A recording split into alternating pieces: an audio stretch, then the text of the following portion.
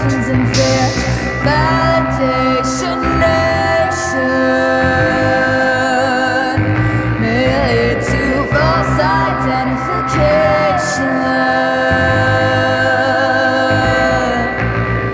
Validation nation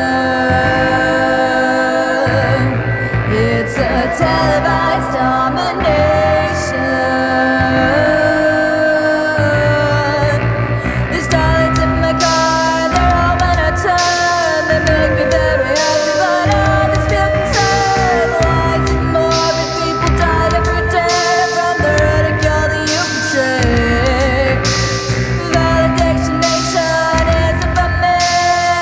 the